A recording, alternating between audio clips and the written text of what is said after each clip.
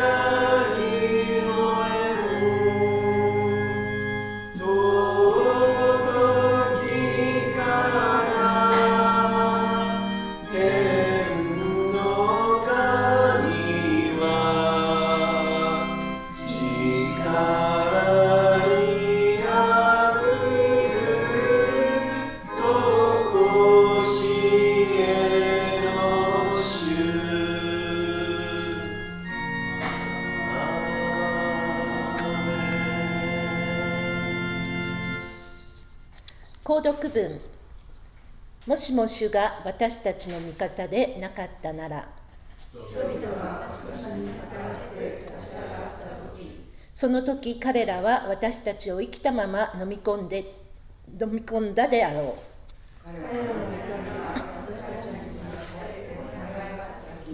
その時大水は私たちを押し流し褒むべきかな主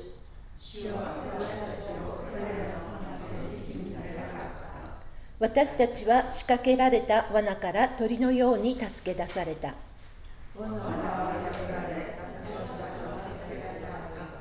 私たちの助けは天地を作られた主の皆にある。ご着席ください。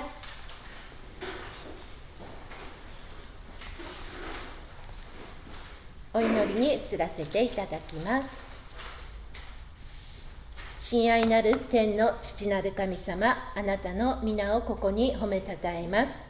あなたの愛によりそれぞれが1週間無事に守られ日曜日の朝兄弟姉妹と一緒にあなたを賛美と礼拝の時を持つことができることを感謝いたします。教会に兄弟姉妹を安全に連れてきてくださりありがとうございます。そして一緒にこの場に集うことのできない人たちやオンラインを通して参加してくれている方たちのことも覚えます。日々の生活では私たちはさまざまな困難に遭遇し、信仰に疑いや迷いを生じることもありますが、あなたの御言葉が私たちを導き、光を照らし、勇気づけてくれることに本当に感謝いたします。この日曜日に新たな御言葉と祈りの恵みに預かり、そしてこれからの週を信仰を強く持ち、生きることができる力が与えられますようにお導きください。マウイ島をはじめ自然災害の被害に遭われた方々、そのご家族、コミュニティのために祈りを捧げます。どうぞ復興と癒しを与え、あなたが支えてあげてください。私たちそれぞれが心を合わせて祈りを捧げることができますように。私たちの教会のために祈りを捧げます。9月には祭りが計画されています。このバザーでたくさんの方々の協力のもとあなたの愛の素晴らしさを分かち合うことができますように。計画が御心にかなうものでありますように。また教会のこれからのさまざまな活動を祝福し私たち一人一人を用いてください。コロナによる規制はほぼなくなっていますが感染がなくなったというわけではありません。奉仕の活動をする兄弟姉妹たちの健康を引き続きお守りください。今週はベッキー先生はお休みですがどうぞ安全にゆっくりと休暇を過ごすことができそしてまた私たちのもとに戻してください。代わりにこれからメッセージを語られる池田由美先生をどうぞ祝福し強めてください。あなたの愛のメッセージを豊かにそして大胆に語ることができますように。聞く私たちの心も精霊の働きによって開かれますように。すべてのことに感謝してこの祈りを主イエス・キリストの皆のもと見舞いにお捧げいたします。アーメン。主の祈り。天に増します。我らの父よ。願わくは皆を崇めさせたまえ。御国を来たらせたまえ。御心の天になるごとく地にもなさせたまえ。我らの日曜の糧を今日も与えたまえ。我らに罪を犯す者を我らが許すごとく我らの罪をも許したまえ。我らを試みに合わせず悪より救い出したまえ。国と力と栄とは限りなく汝のものなればなり。アーメン。聖書を拝読させていただきます。本日与えられている箇所は第2コリント5章の1から7節です。私たちの住まいである地上の幕屋が壊れても神のくださる建物があることを私たちは知っています。それは人の手によらない天にある永遠の家です。私たちはこの幕屋にあってうめきこの天から与えられる住まいを住まいを着たいと望んでいます。それを着たなら私たちは裸の状態になることはないからです。確かにこの幕屋の中にいる間は私たちは重荷を負ってうめいています。それはこの幕屋を脱ぎたいと思うからです。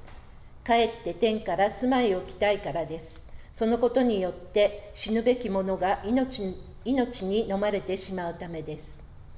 私たちはこのことにかなうものとしてくださった方は神です。神はその保証として御霊をくださいました。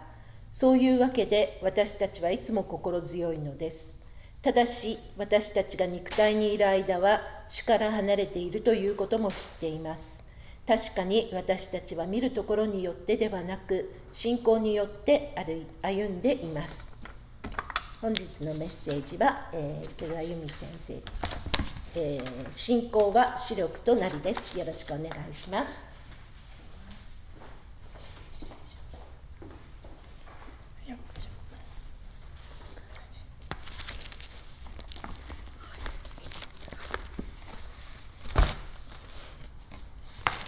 皆様おはようございます。はい。よく聞こえますかね？大丈夫かな？はい。えー、今日ですね、本日ベッキー先生がお休みなので、私があの代理でね、代打でお話をさせていただきます。貴重なね、えー、機会をありがとうございます。えー、日頃こちらには来させてもらってるので、え誰かなっていうのは。あのなんとなくご存知かと思うんですけれどもセカンドレベルミニストリーという宣教団体でソウルケアっていうデパートメントをね担当しております。何してるのかっていうとあのカウンセリングのような悩み事とかあと人の聞き方と人のお話の聞き方とかをねあの今オンラインで世界中の方とつながることができるのでこんなふうに、えー、こうやここが大事なポイントですよとかいうのを日頃オンラインとかでやっております。で今日はあの、うん、ある方とのねお話を通して一度これメッセージにまとめてみたいなと思っていたのをまとめてきました。はい、えー、ちょっと待ってくださいね。ある時にですね、うん、えー、っとこれだ。あの乳がんの方が相談に来られたんですね。でその手術はま終わって、えー、その後の治療に入ったんですけれども片方の乳房のかなりの部分を切除したので、えー、あの義手とか義足とかありますよね。手とか足とかの代わりにつけるものでそれの胸のものがあるのでそれをちょうどこれから作るところなんだっていう方でした。でその方のお悩みっていうのが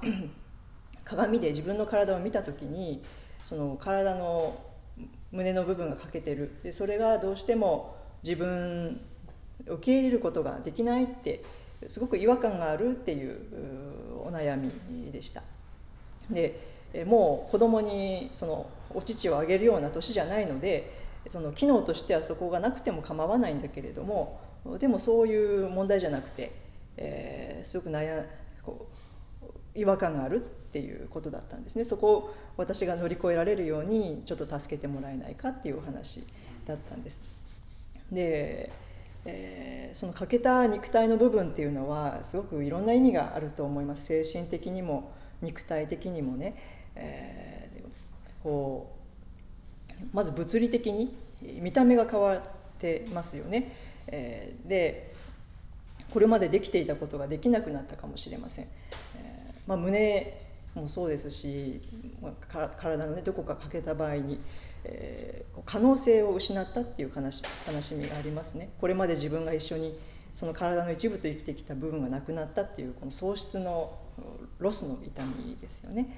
で精神的にはあのこうやっぱり失うっていう辛さがあります。もう髪の毛とか爪とかと違ってもう生えてきたり再生できませんからそのもう失っうだけの痛みですよね。でそれは私たちのこの体が、ま、病気にかかって口こうなくなっていく、え、失われていくっていうそういうこう死死ぬことをね思わせるこうなんかこう暗い、えー、音をね感じるような、えー、暗いサインを感じるかもしれません。で彼女との会話の中でこれは彼女だけの話じゃなくてもう私たちみんなの話だなと思ったんですね。彼女は病気でそういう、まあ、モーメント瞬間がありましたけど私たちある方は生まれた時からもう障害で、えー、ある部分の機能がないかもしれないある人はいきなり事故に遭って若くしてどっか動かなくなるかもしれないもう私たちみんなあの年取ってねあのだんだんもう腰が痛くなって私みたいに 腰が痛くなったり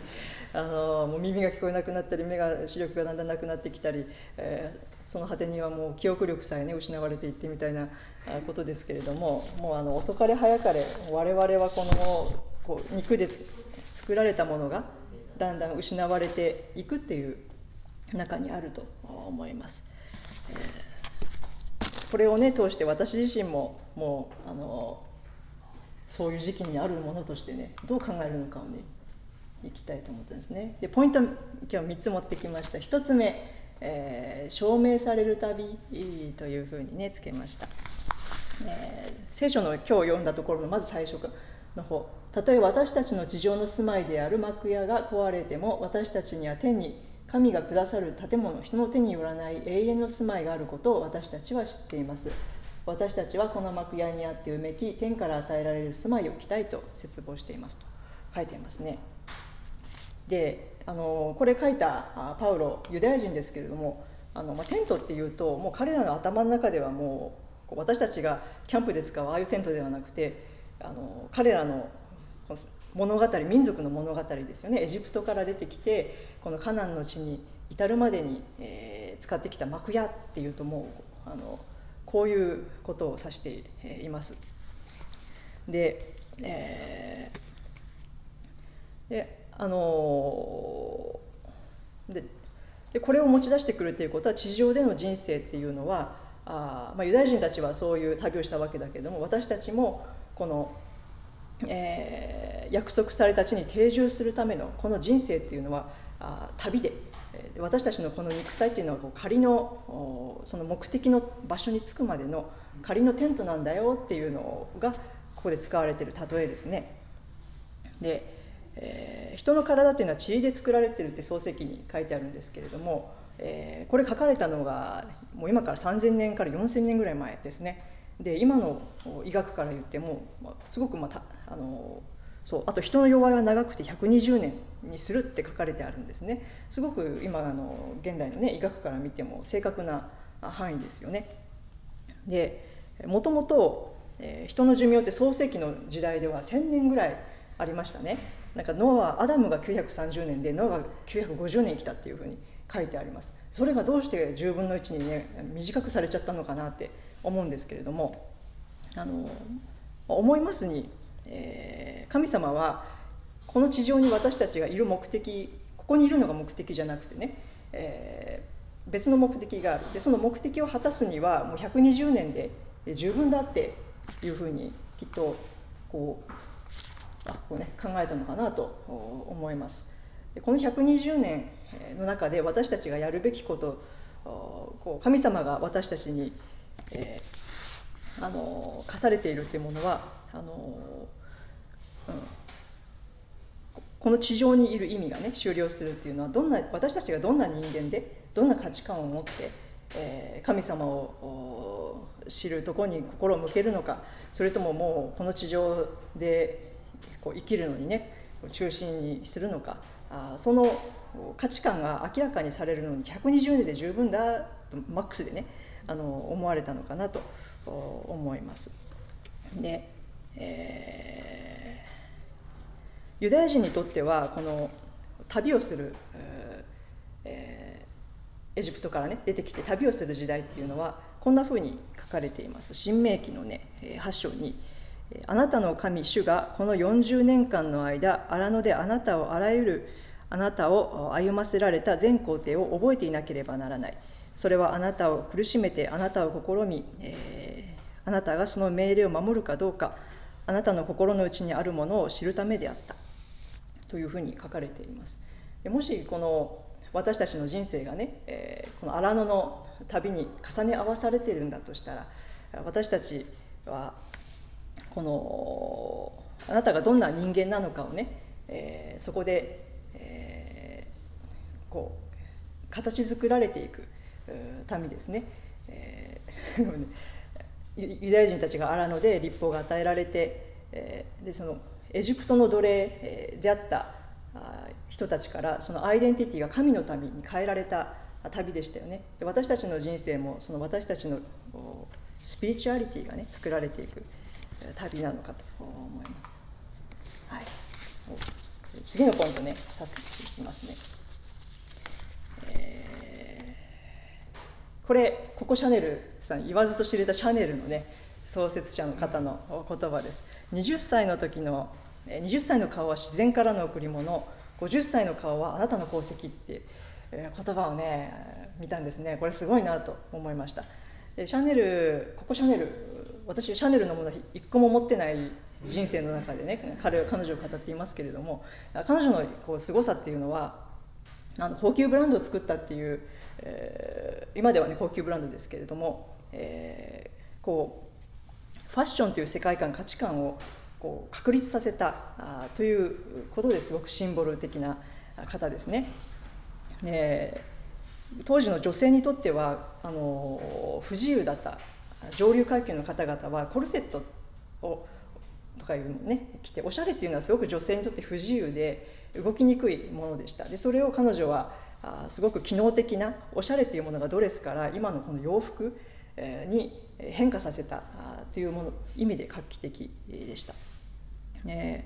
で着飾るっていうことが見せびらかしたり飾り物になるっていうものからあこの、えー、どんな生き方を女性が選択するのか可能にするのかあそれをそういう価値観をファッションで可能にしたっていう意味ですごく偉大な方ですね。で彼女のこの言葉なんですけれどもこれすごいなって思ったんですね。20歳の顔は自然からの贈り物。50歳の顔はあなたの功績、えー、20歳の時の顔ってもう遺伝子であの進むがままになった後の 顔ですよね。美人だったりそうでなかったり背が高かったり低かったり、えー、モテたりモテなかったりすると思うんですけれどもそれがもう50歳になって70歳になって80歳になるとこの内側が外側の形成していくってていうことはねよく聞きます。でこれであのこれをね見ながら思ったんですけれどもこう、まあ、人格が外側にまあ、にじみ出ていくってことですよね外がだんだん衰える分ね。で私たちのこの内側には霊的な形が形作られてると思うんですね外が失われていく一方ででそれは DNA によるんじゃなくて皆さんがどういう信仰を持つかによってその内側が形作られてるのかなと思うんです。で体の機能は失われていきますね。えー、でできできることができなくなっていきますし元に戻らない、えー、でもこう彫刻刀でこうカンカンって削ったらねだんだん美しいこう像ができていくみたいに私たちの体っていうのはこう失われていくことによって、えー、美しいものが内側にね形作られてるのかなと、えー、思います。えー、次スライえー、そう失う過程私たちがこう失っていく過程っていうのは辛いですよね。この中でどうやってこう神様にこう失う中で見ていくのかどう信仰を持つのか失う時に、えー、作られていく過程であると思います。えー、で私たちはこうロスですけどねでもその中で得て豊かになっていく形が内側にはこう形成されてるのかなと感じます。でですねこれやってみたいんですね。えー、じゃあ私たちの中にね今どんなものが使われてるのかなって想像してみたいなと思うんですね去年もですねメッセージした時にね皆さんの心の中ってどんな風景ですかっていうのをあの 質問しましたけどね今日あの皆さんのねこの魂の形っていうのを想像してみてください。もう全然この外側の形に依存しないんですからもうありがたいやら怖いやらっていうお話かと思いますけれども。こうやって考えてみるとね皆さんどうでしょうか？皆さんのこう生きてきてねクリスチャンじゃなくてもねあの全然あの私の内側の姿ってどんなんだろうって想像してみることは可能だと思うので、ちょっと想像してみてください。少しね30秒ほどね取りますのでねゆっくりね考えてみてください。質問大丈夫？わかる？なんと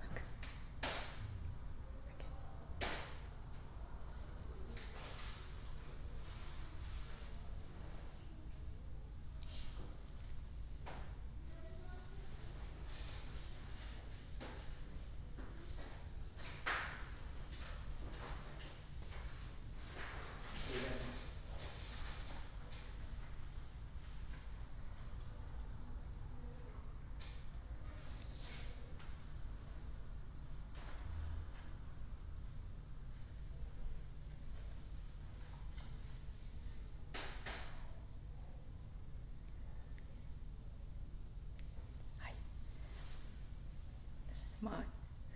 こんな短い時間ではね足りないと思うんですけど是非皆さん続けてねディボーションの時とかやってみてください。あの恒例で悪いんですけど聞いてみたいんですね。私この質問ね 皆さんに個人の時でもやることあるんですけどあのとっても好きなんですよ。これいろんな答えが出てくるのでね。ちょっとこんなの思ったよっていう人いましたか？ちょっと考えてみたら私のスピリチュアリティってこんな形こんな姿かなっていうってみようかな。できたようにあゆみさんとね 目が合ってしまった。なんかこんなかなってなりました？なんかあのぼわっとしてて色も変わるし、うん、その時によって形もこう硬くなったり柔らかくなったり、うん、ぼわっとしてあ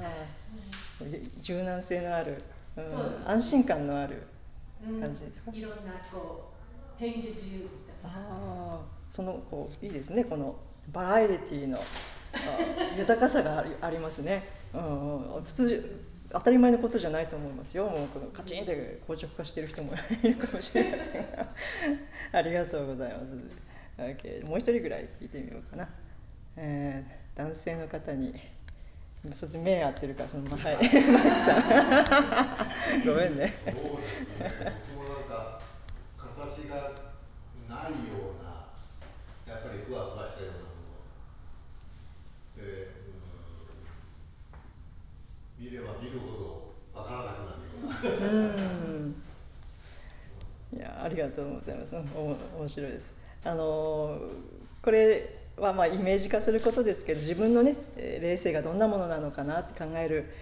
いい手がかりになるかなと思うのでねこうこれもまた変わっていくのでシーズンシーズンで、えー、いろんなこれまでいろんな方がねいろんな例えを出してくれました。なんか茶色のぽちゃっとしたものとかね。いろんな例えがありましたけども。はい。面白いなと思います。あこれねあの私あの昔進学校にいた時のあだ名がニックネームがあのワニガメって 言われてました。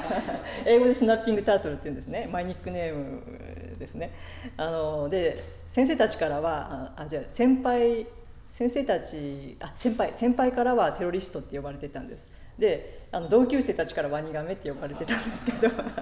それぐらい、ね、自分ではそんなにねひどいつもりはなかったんですけどだいぶ気性が荒かったんでしょうね。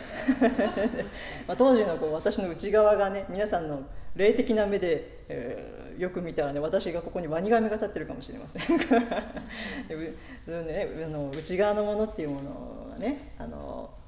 美しくなるようにね、えー、今はだいぶ丸くなってワニガメじゃないと思うんですけれども私の夫はあのこの話を聞くとそうだねって言うから変わってないのかなというのがありました。はいまああのこう中身がねあの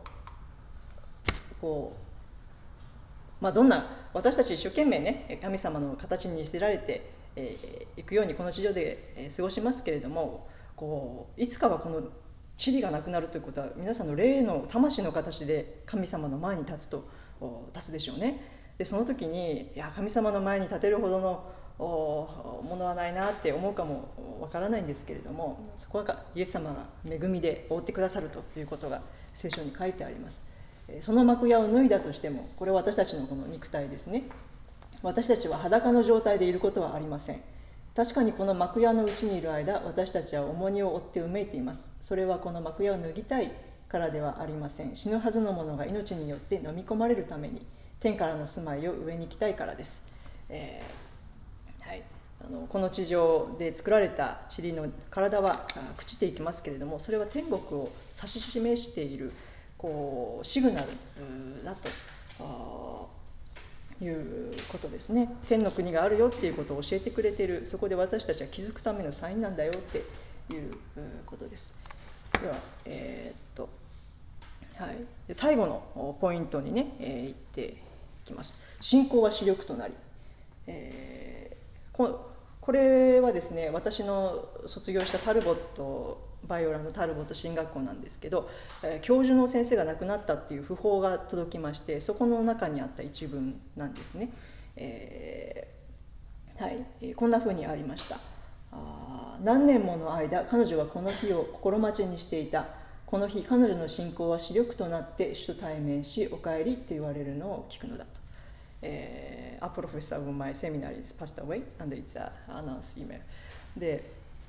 これを見た時にねあのこの「信仰は視力となり」っていう言葉がああなるほどなと思ったんですね。今日メッセージの題にも入れましたけれども。はい。えー、よいしょ、えー、これヘブル書の言葉ですけれども立法には来たるべき良きものの影はあってもその実物はありません。第二のものを立てるために初めのものは廃止されるのです。ということがあります、えー、旧約聖書っていうのはとかこの幕屋っていうものはやがて来るイエス様を私たちに教えるためにこの物質世界物質でね生きたりその時の文化の中で生きてるユダヤ人たちに教えるためにこう、まあ、トレーニングだったって言われますねでもそれは、まあ、トレーニングでありやがて来る本物を理解するためのものだと言われています。で、えー、今イエス様がいらっしゃったのでで私たちはまた次の段階にいるわけですねこのイエス様のあの再臨ですよね本当にあのこう統治される世界がやってくるとで、いうことです。ね、でこれはまたごめんねあちこちあるんですけれどもでこんこんな例えがあります。そこでイエスは言われた。私は裁きのためにこの世に来ました。目の見えないものが見えるようになり、見えるものが盲目となるためです。えー、ってありますね。えー、よくこれは聖書のあちこちで出てくるこうイメージですけれども、あのー、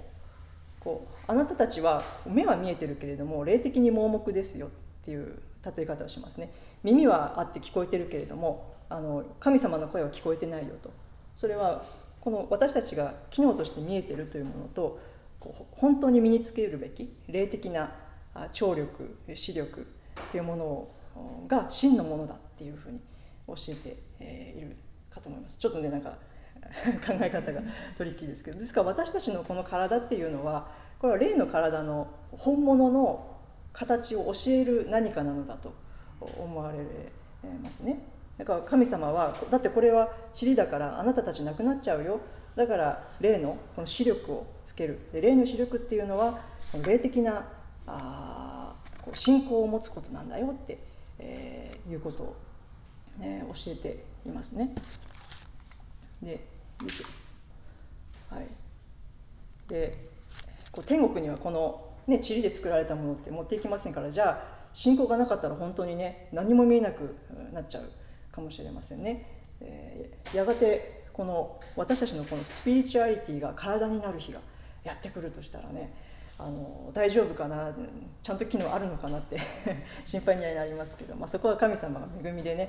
必要なほぼあの補ってくれるのだと思います、まあ、とにかくその神様を信じて永遠の命にこうつながってるよっていうことがね大事なのかなと思います。はいえー、そうやがてね本当に私たちのこの信仰が霊の形になって、えーま、こ全くのね、えこれは手がかりですけれどももしかしたら勇気が手足になってね感謝が口になってとか愛が血液になってとかあまあそれはこうイメージでしかないですけれども本当にそういうスピリチュアリティが皆さんの永遠の体になる日が来ると思うので、えー、そこを本当に豊かにこの地上でしていただけたらと思いますね。で、まあ、いろんな方とお話しする時に思うんですけれども私たちって持ってるものによって豊かになるんじゃなくて持たないことによってこの内側のものっていうのはこう作られていくんだなと。持ってると分かんないからあんまり考えないですよね。それがなくなっていった時にこうよく考えるんだなって思います、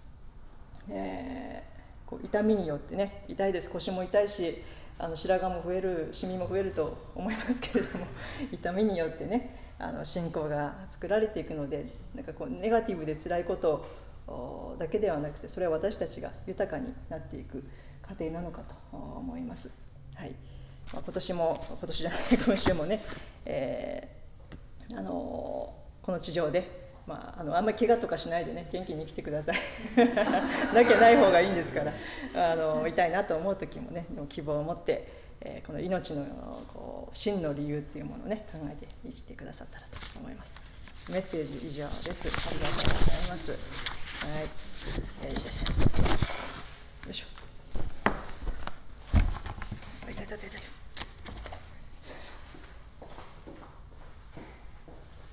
ありがとうございました。では、ご起立できる方はご起立ください。賛美いたしましょう。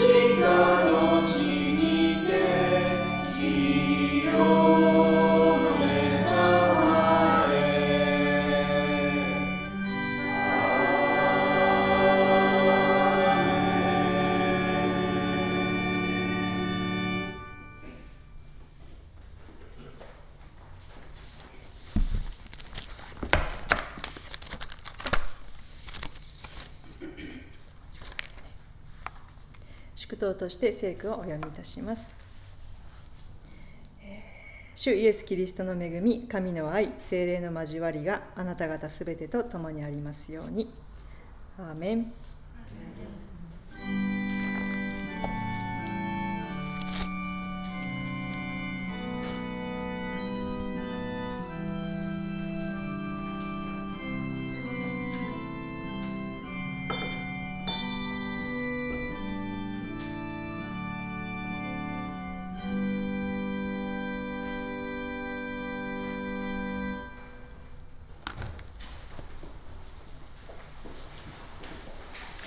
着席ください。では報告に移らせていただきます。霊的成長のため聖書を読み祈るデボーションタイムを持ちましょう。マスクの着用は自由になりましたが続けて気をつけましょう。日曜礼拝は日曜日の朝9時。YouTube に行きフェイスサウスベイ日本語部でライブ参加ができます。過去の礼拝も閲覧が可能です。日曜日の6時より卓球 ministry が行われています。第3土曜日はシニアのためにお弁当が準備されます。希望される方はオフィスに連絡してください。無料です。第1、第3土曜日、シニア弁当を届けるデリバリー奉仕の方を探しています。できる方は重田姉までお知らせください。 Bible study は月曜日の7時より、Zoom で行われています。本日の礼拝の奉仕は池田由美先生です。感謝いたしましょう。ありがとうございました。8月の21日から27日、えー、平田ベッキー先生は休暇をいただいています。9月の3日日曜日2時より卓球のトーナメントがあります。誰でも参加できるのでいらしてください。えー、9月の9日、教会のバザーです。日本語部はカレーとそうめんを担当しています。ファンドレイズの目標額は3万ドル。教会の会計の祝福をお祈りに覚えましょう。9月の16日、えー、ハリウッドボールに行きます。サウスド・オブ・ミュージックを一緒に歌うプログラム。参加希望者は教会のオフィスまで36ドル。締め切りすぎちゃってますね。8月の20日までです。えー、2024年5月の27から6月の5日、東北被災地一巻ミッションを予定しています。9月17日の2時から参加希望者の説明会が行われます。Zoom での参加も可能です。参加費は1400ドルです。最後に、えー、ハワイ火災と復興被災者のためにお祈りいたしましょう。えー、ラハイナの復興支援のための、えー、ファンドレイジングの T シャツが、えー、売られております。え25ドルで、あのそちらのあの隣のお部屋で、えもしご希望の方は売られてますのでよかったら、え購入されて支援されてください。以上ですが他に皆さんからありますでしょうか？大丈夫ですか？では本日の礼拝を終わります。ありがとうございました。